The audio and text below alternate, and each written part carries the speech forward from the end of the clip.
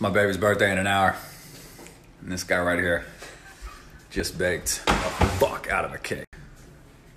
Boom!